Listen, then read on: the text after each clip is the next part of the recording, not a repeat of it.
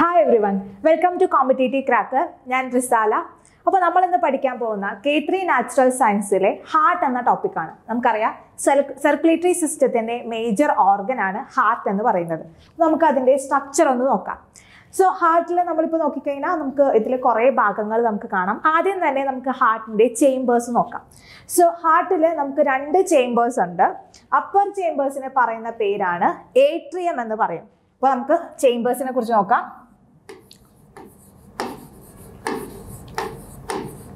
So first നമ്മുടെ upper ചേംബേഴ്സിനെ പറയുന്നത് ഏട്രിയം ദെൻ ലോവർ ചേംബേഴ്സിനെ നമ്മൾ പറയുന്നത് വെൻട്രിക്കൽ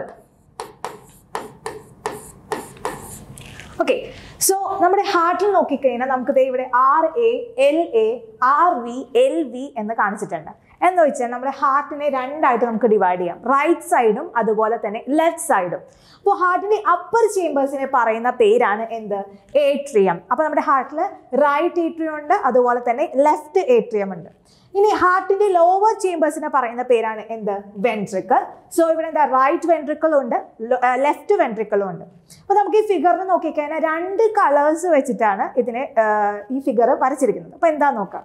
സോ ഇതിൽ റെഡ് കളർ ഇൻഡിക്കേറ്റ് ചെയ്യുന്ന എന്താണ്? ഓക്സിജൻ റിച്ച് ബ്ലഡ് ആണ്. ഇനി ബ്ലൂ കളർ ഇൻഡിക്കേറ്റ് ചെയ്യുന്നതാണ് ഓക്സിജൻ പുവർ ബ്ലഡ് ആണ്. അഥവാ carbon dioxide rich blood ആയിരിക്കും. ഈ ലെഫ്റ്റ് റൈറ്റ് സൈഡിലൂടെ പോകുന്നത്. അപ്പോൾ ആലോചിക്കുക ലെഫ്റ്റ് സൈഡിലൂടെ പോകുന്നത് എന്താണ്? ഓക്സിജൻ റിച്ച് ബ്ലഡ് റൈറ്റ് സൈഡിലൂടെ പോകുന്നത് ഓക്സിജൻ പുവർ ബ്ലഡ് ആണ്. ഇനി നമുക്ക് ഈ സ്ട്രക്ചറിലൂടെ പഠിക്കേണ്ടത് ബ്ലഡ് വെസൽസ് ആണ്. അപ്പോൾ രണ്ട് സൈഡിലും റൈറ്റ് സൈഡിലാണെങ്കിലും ലെഫ്റ്റ് സൈഡിലാണെങ്കിലും ബ്ലഡ് വെസൽസ് നമുക്ക് കാണാം. സോ ഫസ്റ്റ് നമുക്ക് ഈ ലെഫ്റ്റ് സൈഡിൽ കാണുന്ന ബ്ലഡ് വെസൽസ് നോക്കാം. സോ ഇവിടെ കാണുന്നതാണ് പൾമനറി വെയിൻ എന്ന് നമുക്ക് പറയും. പിന്നെ ഈ ഒരു ചേംബർ ഈ ഒരു ബ്ലഡ് വെസൽസ് ആണ് അയോട്ട എന്ന് പറയും. അപ്പോൾ നമുക്ക് ഹാർട്ടിനെ രണ്ട് സൈഡായിട്ട് ഡിവൈഡ് ചെയ്യാം. ലെഫ്റ്റ് സൈഡും അതുപോലെ തന്നെ റൈറ്റ് സൈഡായിട്ട് നമുക്ക് ഡിവൈഡ് ചെയ്യാം. സോ ഈ ഓരോ സൈഡ് നോക്കിക്കഴിഞ്ഞാലും രണ്ട് സൈഡിലും നമുക്ക് എന്ത് കാണാം? ബ്ലഡ് വെസൽസ് കാണാം. അപ്പോൾ നമ്മൾ ആദ്യം നോക്കാൻ പോകുന്ന ലെഫ്റ്റ് സൈഡിലെ ബ്ലഡ് വെസൽ ആണ്. അതിനെ നമ്മൾ പറയുന്ന പേരാണ് പൾമനറി വെയിൻ നമ്മൾ പി വി എന്ന് നമ്മൾ ഇൻഡിക്കേറ്റ് ചെയ്യും. അഥവാ ഇവിടെ കാണിച്ചിരിക്കുന്നുണ്ട് പൾമനറി വെയിൻ എന്നാണ് നമ്മൾ അതിനെ പറയുന്നത്. ഇനി next A O A O എന്ന് പറയുന്നത് എന്താണ്? അയോട്ട. അയോട്ടയാണ് എ ഒ എന്നുകൊണ്ട് ഉദ്ദേശിച്ചിരിക്കുന്നത്. അപ്പോൾ ലെഫ്റ്റ് സൈഡിൽ കാണുന്നത് രണ്ട് ബ്ലഡ് വെസൽസ് ആണ്. പൾമനറി വെയിലും അതുപോലെ തന്നെ അയോട്ട ഇനി നമ്മൾ നോക്കാൻ പോകുന്നത് റൈറ്റ് സൈഡിലാണ് റൈറ്റ് സൈഡിൽ നമുക്ക് കാണപ്പെടുന്നത് പി എ അഥവാ പൾമനറി ആർട്ടറി റൈറ്റ് സൈഡിൽ പി എ പൾമനറി ആർട്ടറി അതുപോലെ തന്നെ നമുക്ക് ഇവിടെ കാണാം വേനക്കാവ. അതായത് സുപ്പീരിയർ വേനക്കാവയുണ്ട് ഇൻഫീരിയർ വേനക്കാവയുണ്ട്. അപ്പോൾ വേനക്കാവയാണ് അടുത്ത ബ്ലഡ് വെസൽ അപ്പോൾ ലെഫ്റ്റ് സൈഡിൽ പൾമനറി വെയിനും അയോട്ടയും റൈറ്റ് സൈഡിൽ പൾമനറി ആർട്ടറി വേനക്കാവ ഇത്രയാണ് നമ്മുടെ ബ്ലഡ് വെസൽസ് ഉള്ളത്. അപ്പോൾ ഹാർട്ടിൽ നാല് ചേമ്പേഴ്സ് ആണ്. അപ്പർ ചേമ്പേഴ്സിനെ പറയുന്നത് എന്താണ്? ഏട്രിയം എന്നും ലോവർ ചേമ്പേഴ്സിനെ നമ്മൾ പറയുന്നത് വെൻട്രിക്കൽ എന്നുമാണ്. ഇനി നമ്മൾ നോക്കാൻ പോകുന്നത് ഹാർട്ടിന്റെ സർക്കുലേഷൻ ആണ്. അപ്പോൾ നമ്മുടെ നമ്മുടെ ഹ്യൂമൻ ഇതിപ്പോൾ നമ്മുടെ ഹ്യൂമൻ ഹാർട്ടാണ് ഹ്യൂമൻ ഹാർട്ട് എപ്പോഴും എന്താണ്? ഫോർ ചേംബേഴ്സ് ആണ്. അതിൽ നമ്മൾ കാണുന്ന സർക്കുലേഷൻ ഡബിൾ സർക്കുലേഷൻ എന്നാണ് പറയുന്നത്. എന്തുകൊണ്ടായിരിക്കും ഡബിൾ സർക്കുലേഷൻ എന്ന് പറയുന്നത്? കാരണം ഇതിലിപ്പോൾ നമ്മൾ നേരത്തെ കണ്ട ഫിഗറിൽ നോക്കുമ്പോൾ ഇതിനെ രണ്ട് സൈഡായിട്ട് ഡിവൈഡ് ചെയ്തിട്ടുണ്ട്. റൈറ്റ് സൈഡും ലെഫ്റ്റ് സൈഡായിട്ടും അഥവാ നമ്മുടെ ബ്ലഡ് നമ്മുടെ ഹാർട്ടിലൂടെ ബ്ലഡ് രണ്ട് പ്രാവശ്യം ട്വൈസ് ആയിട്ട് സർക്കുലേറ്റ് ചെയ്യുന്നുണ്ട്. അതുകൊണ്ടാണ് ഡബിൾ സർക്കുലേഷൻ എന്നുകൊണ്ട് നമ്മൾ ഉദ്ദേശിക്കുന്നത്. അപ്പോൾ ലെഫ്റ്റ് സൈഡിൽ എന്താണ് നമ്മൾ പറഞ്ഞു? ലെഫ്റ്റ് സൈഡിൽ ഓക്സിജൻ റിച്ച് ബ്ലഡും പോകുന്നുണ്ട്. അതുപോലെ തന്നെ റൈറ്റ് സൈഡിൽ നമ്മുടെ ഓക്സിജൻ പുവർ ബ്ലഡും പോകുന്നുണ്ട്. സോ ഈ നമ്മുടെ ഹാർട്ടിലൂടെ രണ്ട് പ്രാവശ്യം ബ്ലഡ് സർക്കുലേറ്റ് ചെയ്യുന്നതിനെയാണ് ഡബിൾ സർക്കുലേഷൻ എന്നുകൊണ്ട് ഉദ്ദേശിക്കുന്നത്. അപ്പോൾ നിങ്ങൾ കണ്ടുകൊണ്ടിരിക്കുന്ന ഇതുപോലെ കെ ത്രീ നാച്ചുറൽ സയൻസിന്റെ സിലബസ് അധി അധിഷ്ഠിതമായിട്ടുള്ള കോഴ്സുകൾ നമ്മുടെ കോമ്പറ്റേറ്റീവ് ക്രാക്കറിന്റെ ആപ്പിലൂടെ ലഭ്യമാണ്.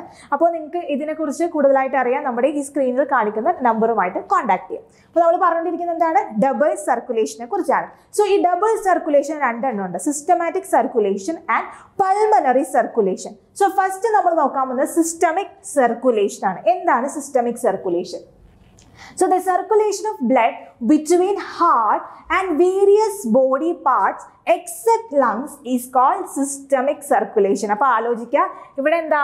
നമ്മുടെ ലങ്സ് ഇൻക്ലൂഡ് ചെയ്തിട്ടില്ല.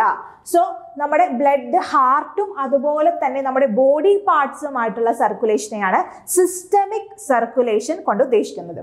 Then it start from left ventricle and ends at right atrium. ആലോചിക്കുക. ലെഫ്റ്റ് വെൻട്രിക്കിളിൽ നിന്ന് തുടങ്ങി എവിടെ അവസാനിക്കുന്നു? റൈറ്റ് ഏട്രിയത്തിൽ അവസാനിക്കുന്നു. ഈ ഒരു സർക്കുലേഷൻ ആണ് സിസ്റ്റമിക് സർക്കുലേഷൻ എന്ന് പറയുന്നത്. അപ്പൊ നോക്കാം. Left ventricle pumps oxygenated blood into the aorta അയോട്ടയിലേക്ക് എന്താ? ലെഫ്റ്റ് വെൻട്രിക്കിൽ നിന്നും ബ്ലഡ് പമ്പ് ചെയ്യുന്നു. Aorta supplies it to the various body tissues through a number of arteries അയോട്ടയിലൂടെ aorta എന്ന് പറഞ്ഞാൽ നമ്മുടെ ആർട്ടറീസ് ആണ്. അതെന്താ? അവിടെ നിന്നും ആ ബ്ലഡ് ആ ലാർജസ്റ്റ് ആർട്ടറിയിലൂടെ വേറെ ന്യൂമറസ് ആർട്ടറീസിലൂടെ ഈ എന്താ? ഈ ബ്ലഡ് പല ബോഡി പാർട്സിലേക്ക് എത്തുന്നു. Then next the deoxygenated blood this tissue is returned to the right atrium through the veins superior vena cava and inferior vena cava. ഇനി ബോഡി ടിഷ്യൂവിലേക്ക് ഓക്സിജനേറ്റഡ് ബ്ലഡ് പോയി. ഇനി തിരിച്ച് അവിടെ നിന്ന് ഡീഓക്സിജനേറ്റഡ് ബ്ലഡിനെ കളക്ട് ചെയ്ത് നമ്മുടെ ഹാർട്ടിലേക്ക് എത്തിക്കുന്ന വെയിൻസ് ആണ് superior vena cava and inferior vena cava എന്ന് പറയുന്നത്. ഈ ഫിഗറിൽ നോക്കിക്കഴിഞ്ഞാൽ നിങ്ങൾക്ക് ക്ലിയർ ആയിട്ട് മനസ്സിലാവും. സോ ഇവിടെ ലെഫ്റ്റ് വെൻട്രിക്കിളിൽ നിന്നാണ് ഈ ബ്ലഡ് സർക്കുലേഷൻ സ്റ്റാർട്ട് ചെയ്യുന്നത്. ഇത് അയോട്ട വഴി എന്താ? ഡിഫറെന്റ് ബോഡി പാർട്സിലേക്കാണ് ഈ ബ്ലഡ് സർക്കുലേറ്റ് ചെയ്യുന്ന ബ്ലഡ് പമ്പ് ചെയ്യുന്നത്. എന്നിട്ട് എന്താ ഇത് പല ബോഡി പാർട്സ് ഇൻഡസ്റ്റൈൻ കിഡ്നി ഹൈ ലംസ് അങ്ങനെ പല ഭാഗത്തേക്ക് ഈ ബ്ലഡ് ഒഴുകി പോകുന്നുണ്ട് എന്നിട്ട് എന്താ ഇത് വീണ്ടും ഇവിടെ നിന്ന് ഈ ബോഡി പാർട്സിൽ നിന്നും ഡീഓക്സിജനേറ്റഡ് ബ്ലഡിനെ വെയിൻസ് കളക്ട് ചെയ്തിട്ട് ഇൻഫീരിയർ വേനക്കാവയും സുപ്പീരിയർ വേനക്കാവയും ഇവിടെ ഹെഡ് റീജിയനിലേക്ക് നമ്മുടെ ബ്ലഡ് പോകുന്നുണ്ട്. ഇനി ഈ ബോഡി പാർട്സിലുള്ള ഡീഓക്സിജനേറ്റഡ് ബ്ലഡിനെ കളക്ട് ചെയ്യുന്ന വെയിൻസുകളാണ് superior vena cava upper body parts inferior vena cava lower body parts എന്നിട്ട് എന്ത് ചെയ്യുന്നു? നമ്മുടെ റൈറ്റ് ഏട്രിയത്തിലേക്ക് എത്തിക്കുന്നു. സോ ഈ ഒരു സർക്കുലേഷനാണ് എന്ത്? സിസ്റ്റമിക് സർക്കുലേഷൻ എന്നുകൊണ്ട് ഉദ്ദേശിക്കുന്നത്. നെക്സ്റ്റ് വൺ സെക്കൻഡ് സർക്കുലേഷൻ ആണ് പൾമനറി സർക്കുലേഷൻ എന്ന് പറയുന്നത്. അപ്പോൾ ഈ രണ്ട് സർക്കുലേഷൻ അറ്റ് എ ടൈം ആണ് നമ്മുടെ ഹാർട്ടിൽ നടക്കുന്നത്. സോ പൾമനറി സർക്കുലേഷൻ എന്ന് വെച്ചാൽ എന്താ? Circulation of blood between the heart and lungs is called pulmonary circulation എപ്പോഴും ആലോചിക്കുക. പൾമനറി എന്ന് പറയുന്നത് നമ്മുടെ ലങ്സുമായിട്ട് റിലേറ്റ് ചെയ്താണ് നമ്മൾ പൾമനറി ഉദ്ദേശിക്കുന്നത്. അപ്പോൾ ഈ ഒരു സർക്കുലേഷൻ എന്ന് പറഞ്ഞാൽ എന്താ? ഹാർട്ടും ലങ്സുമായിട്ടുള്ള സർക്കുലേഷൻ ആണ് പൾമനറി സർക്കുലേഷൻ കൊണ്ട് ഉദ്ദേശിക്കുന്നത്. So it start from right ventricle and ends at left atrium അപ്പോൾ നമ്മുടെ നേരത്തെ സിസ്റ്റമിക്ക് എവിടെ നിന്നാണ്? റൈറ്റ് വെൻട്രിക്കിളിലൂടെ സ്റ്റാർട്ട് ചെയ്ത് ലെഫ്റ്റ് ഏട്രിയത്തിൽ അവസാനിക്കുന്നു. അപ്പോൾ ഇവിടെ എന്താണ്? റൈറ്റ് വെൻട്രിക്കിളിൽ നിന്ന് സ്റ്റാർട്ട് ചെയ്ത് ലെഫ്റ്റ് ഏട്രിയത്തിലേക്ക് ഇത് അവസാനിക്കുന്നതാണ് ഈ നമ്മുടെ പൾമനറി സർക്കുലേഷൻ എന്ന് പറയുന്നത്. സിസ്റ്റമിക് ഇതിന് നേരെ ഓപ്പോസിറ്റ് ആണ്.